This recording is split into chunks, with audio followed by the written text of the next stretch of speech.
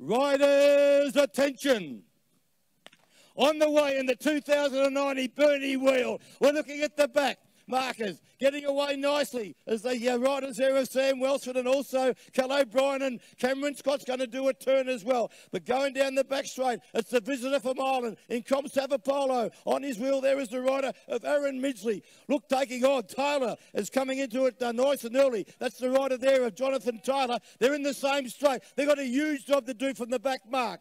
They'll come around this time. They're going to get five to go. And on the front, Swinging up there is Aaron Midgley, the youngster from Bundaberg there, Austin Allen. Trying to get across to him there is Joel Laycock. Then there's what the rider there of number 38 in Simon Price along with Luke Atkinson. The T rider, the 18-year-old there from Cairns. He swings up the track. Looking back to the next group, been along there by Michael Astle. Oh, he's got four VIS riders there with him. That's the use group. Then further back, we've got the young uh, uh, Josh Duffy. Josh Duffy doing a big turn as they go down the back straight. Five there in that back group.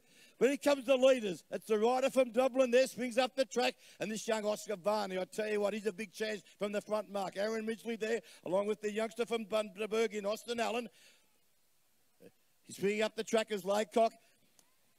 Number 26 there going through is Duncan Allen.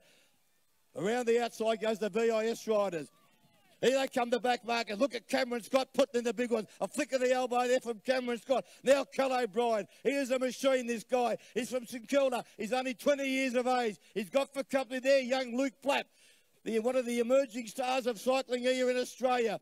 But still out in front. Three laps to go. Can he get up and make it four in a row? Oscar Varney leads out from Aaron Midgley.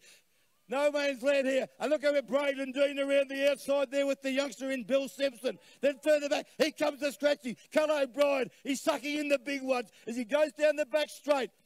They get a tailwind down the back straight. Luke Papalook will do a turn shortly, and Sam Welsford will then come home, hopefully. I shouldn't say that, but can he make it four in a row? They're starting to bunch up now as they come around to get two laps to go. Two to go in the Burnie wheel. And look at them on the front. Look at the VIS riders. They're everywhere. I'm swinging up there. Now on the front is the youngster there in Isaac Buckle. He comes to back market. Luke Platt. Luke Platt. He's not got on his wheel. There is the rider And for Sam Welsford. I don't believe it. Down the back. They're cooking up in front. They're really cooking up in front. And they're gone for home. Welsford let them go by himself. Here he comes now.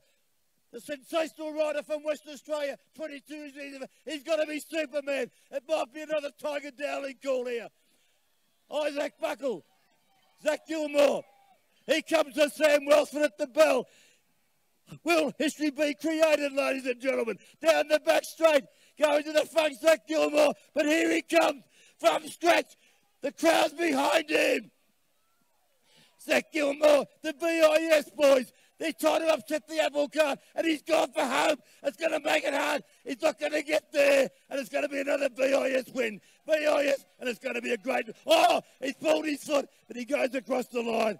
Oh, Jensen Plowright made a two on end. He won the 2000, and now he's won the Burnie Wheel. Oh, what a ride by this youngster from the Hawthorn Club. He pulled his foot some 30 metres from the line.